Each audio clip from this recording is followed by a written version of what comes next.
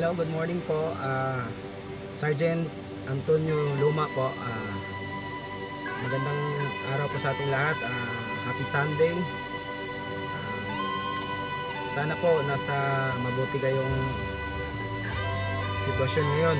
Lalo na yung nagpanik tungkol dun sa coronavirus. So, regarding po la- lang po lahat, huwag po kayong magpanik. Saka, Well, wala naman sakit sa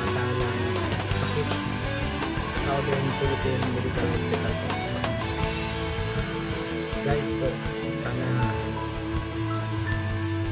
be positive po tayong lahat. Good vibes lang para hindi tayo magpanic regarding dun sa mga kumakalat na balita na yung Davao nakapasok daw na.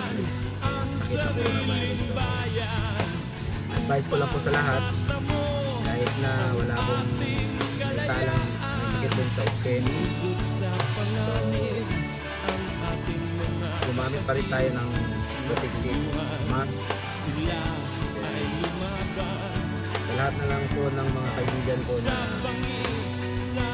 patuloy na susuporta sa mga update tungkol sa buhay tayong lahat Happy Sunday.